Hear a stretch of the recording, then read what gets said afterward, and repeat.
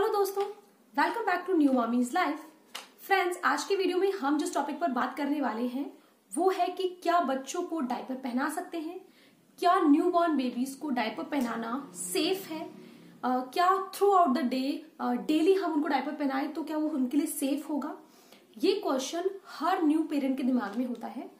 जो भी लोग अभी अभी नए नए पेरेंट्स बने हैं या फिर पेरेंट्स बनने वाले हैं उनके दिमाग में ये क्वेश्चन जो है वो बहुत उन्हें कंफ्यूज कर रहा होता है, क्योंकि हमारे आसपास की जो सराउंडिंग्स होती है, हमारे आसपास के जो लोग हैं, वो अलग अलग तरीके की बात करते हैं और अलग अलग तरीके के सजेशन हमें देते हैं, जिसकी वजह से जो कंफ्यूजन है वो और ज़्यादा बढ़ जाता है कि क्या डायपर बच्चों के लिए सेफ़ है या नहीं।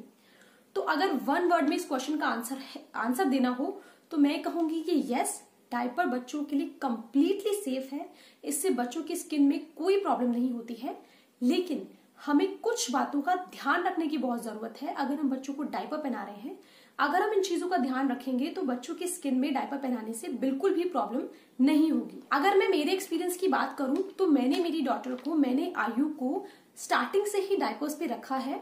सिक्स uh, मंथ्स तक मैंने उसे कंटिन्यूसली डायपर पहनाए हैं। Throughout the day the day she was born उस मोमेंट से लेके हमने उसे डेली डायपर्स पहनाए हैं। और टचवुड उसे कोई प्रॉब्लम नहीं हुई, उसकी स्किन में आज तक किसी किसी भी तरीके का कोई रैश भी नहीं आया है। और डायपर्स उसके लिए जो है वो कम्प्लीटली हमें सेफ़ रहे हैं। हाउएवर अभी हम आयु को डायपर्स नहीं पहना रहे हैं, उसका डायपर जो पहनाना हमने कम्प्लीटली बंद कर दिया है। हम उसको जो है नॉर्मल कॉटन पजामी में ही रखते हैं, क्योंकि जो है सूसू पॉटी के लिए वो कम्प्लीटली अंडरस्टैंड करने लगी है और हमें बताने स्टार्ट कर दिया है। इवन रात में भी जो है वो एक ही बार पी करती है और वो, जो है, मैं उसको रात में एक बार पी करवा के सुलाती हूँ और वो डायरेक्टली मॉर्निंग में ही पी करती है। तो मुझे उसके जो नाइट डायपर्स हैं, उनकी भी अब ज़रूरत नहीं पड़ती है, क्योंकि इनिशियली फोर फाइव डेज़ मैंने उसको पहनाया और वो डायपर मॉर्निंग तक बिल्कुल ड्राई था। तो मैंने अब जो है उसके नाइट डायपर्स भी बंद कर दिए हैं, क्योंकि उसको ये बहुत अच्छी आदत लग गई है कि वो विदाउट डायपर जो है, उसको जब पी आता है तो वो हमें इन्फॉर्म कर देती है। जिससे हमें बहुत हेल्प मिलती है, उसकी उस ट्रेनिंग को कंटिन्यू रखने में और मैं नहीं चाहती कि अब उसकी जो आदत है, वो डायपर्स की वजह से छूट जाए। इसलिए अभी उसके डायपर्स हमने बंद कर दिए हैं। लेकिन सिक्स मंथ तक मैंने उसे कंटिन्यूसली डायपर पहनाए थे और उसे कोई प्रॉब्लम नहीं आई।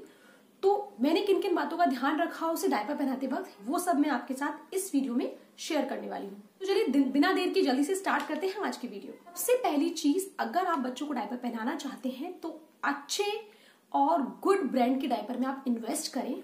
मार्केट में आज के टाइम पे बहुत सारे ब्रांड्स अवेलेबल हैं। हर ब्रांड अलग अलग तरीके के प्रोमिस करते हैं। बट जो मेरा एक्सपीरियंस है उसमें आ, मेरा सजेशन होगा कि आप जेल बेस्ड डायपर का ही यूज़ करें। वो बहुत अच्छे होते हैं क्योंकि जो बच्चे का पी होता है वो जो वाटर होता है उसे वो जेल में कन्वर्ट कर देते हैं और इन्फेक्शन के जो चांसेस होते हैं वो एकदम खत्म हो जाते हैं। तो जेल बेस्ड डायपर आप यूज़ कर सकते हैं और बहुत तरीके के ब्रांड जो अवेलेबल हैं आप हर ब्रांड को एक बार ट्राई करके देख सकते हैं, जो भी ब्रांड आपको सुटेबल लगे, आप वो ही कंटिन्यू करें। मेरे एक्सपीरियंस में मैंने स्टार्टिंग से ही जो है पैम्पर्स यूज़ किया है और मुझे वो बहुत ही अच्छा और बहुत ही कंफर्टेबल डायपर फील हुआ अपनी बेबी के लिए। मैंने और ब्रांड्स भी एक दो बार ट्राई किए थे, जब मेरा स्टॉक ओवर हो गया था, एक या दो जो डायपर का पैकेट मैंने ट्राई किया था बट मुझे वो पैम्पर्स के कंपैरेटिवली नहीं अच्छे लगे, इसलिए मैंने स्विच नहीं किया और मैं पैम्पर्स पे ही तब तक स्टिक हूँ। आप जो है कोई भी और ब्रांड दे सकते हैं, जो भी आपको कंफर्टेबल लगे, उसके साथ आप कंटिन्यू कर सकते हैं। बट कोशिश करें कि आप किसी अच्छे ब्रांड में ही इन्वेस्ट करें और अच्छे ब्रांड का डायपर ही अपने बच्चे को पहनाएँ।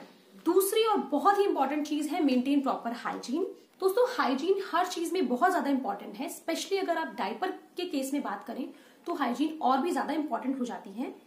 क्योंकि डायपर का जो एरिया होता है, वो बहुत सेंसिटिव होता है। तो इट्स वेरी इंपॉर्टेंट कि अगर आप बच्चे को डायपर पहना रहे हैं और वो फ्रिक्वेंटली कंटिन्यूसली पीक करता है तो थ्री टू फोर आवर्स के बिटवीन आप उसका डायपर जो है, वो चेंज करें और आप उसे दूसरा फ्रेश डायपर सूखा डायपर आप उसे पहनाएँ। कुछ बच्चे बहुत ही ज़्यादा जल्दी जल्दी पी करते हैं, बहुत सारा पी करते हैं, बहुत फ्रीक्वेंटली करते हैं तो उस केस में हो सकता है आपको और भी जल्दी डायपर चेंज करना पड़े। तो वो आप अपने बच्चे को देखते हुए अपने ऑब्जर्वेशन के अकॉर्डिंग आप प्रॉपर हाइजीन मेंटेन करते हुए कोशिश करें कि आप बहुत ज़्यादा डायपर को जो है गीला ना होने दें और ऐसा ना हो कि डायपर का जेल जो है वो गीला होकर बाहर आने लगे। आप उससे पहले ही फ्रीक्वेंटली बच्चे का डायपर चेंज करते रहें।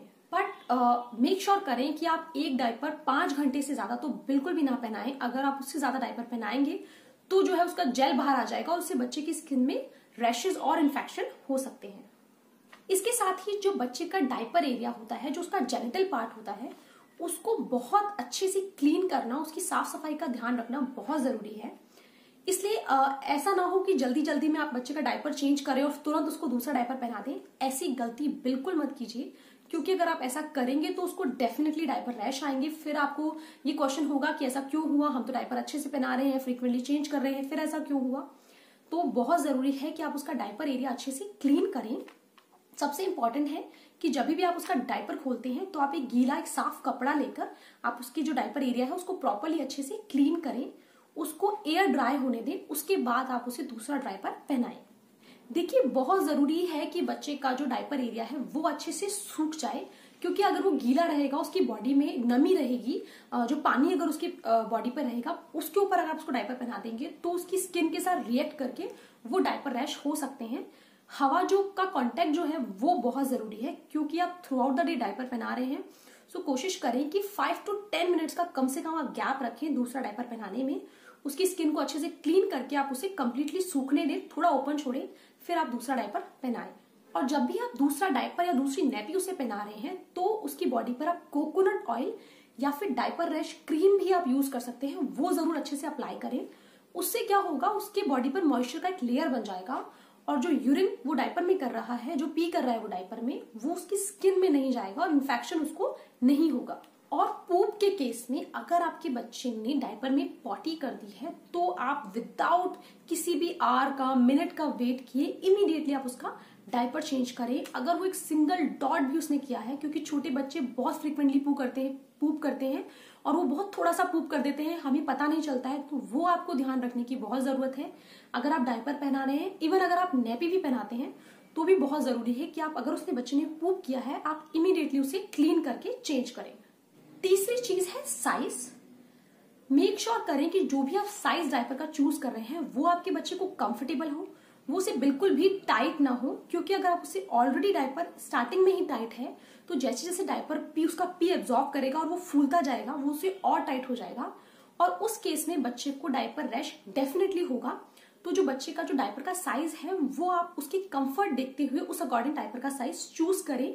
हर डायपर पर लिखा होता है वेट के अकॉर्डिंग बट फिर भी वेट के साथ साथ आप ये देखें कि वो डायपर आपके बच्चे को कंफर्टेबल है, वो उसमें इजीली मूव कर पा रहा है, उसे निशान तो नहीं पड़ रहा रबड़ का। अगर ऐसा है तो आप एक साइज़ बड़ा लेके ट्राई करें। चौथी चीज़ है इन केस इन सब बातों का ध्यान रखते हुए भी आपके बच्चे को अगर रैश हो गया है तो आप डायपर बिल्कुल हटा दीजिए और उससे जितना हो सके खुला रखिए कॉटन कप में कवर रखिए और जितना हो सके आप खुला रखिए, क्योंकि जितना ज़्यादा स्किन जो है एयर कांटेक्ट में आएगी, वो उतना ही जल्दी हील हो जाएगी और वो रैश ठीक हो जाएगा। देखिए, आयु के केस में मैंने इन सब बातों का बहुत ध्यान रखा और हमें कभी कोई प्रॉब्लम नहीं हुई।